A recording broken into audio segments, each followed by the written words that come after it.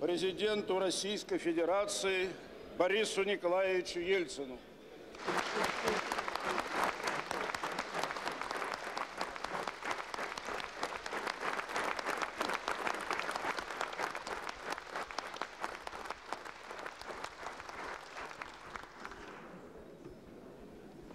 Уважаемые граждане России, уважаемые члены Совета Федерации, уважаемые депутаты Государственной Думы, в соответствии с Конституцией направляю Федеральному собранию ежегодное послание.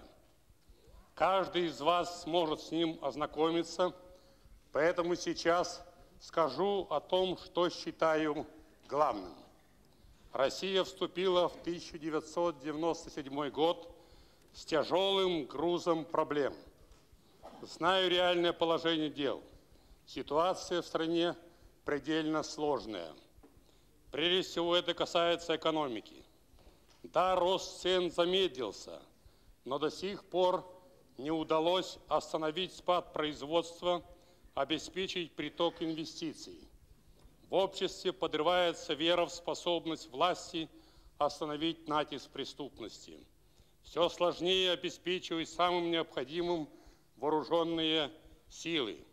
Снижается и без того низкий уровень жизни большинства российских граждан. Люди страдают от задержек зарплат, пенсий и пособий.